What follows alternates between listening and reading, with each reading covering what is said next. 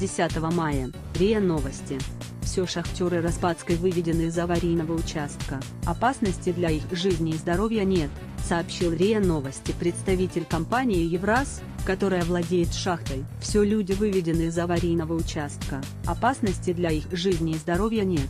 Предположительно, произошло возгорание технического оборудования. Специалисты ВГСЧ, военизированной горноспасательной части, РЕД, приступают к устранению возгорания, сказал собеседник РИА Новости. Ранее источник РИА Новости сообщал, что после возгорания угля в лаве шахте Распадская под комбайном на глубине 500 метров на поверхность выводит 195 горнорабочих. По его словам, по предварительным данным, пострадавших нет. Он уточнил, что на месте чрезвычайное происшествие работают шесть отделений горноспасателей.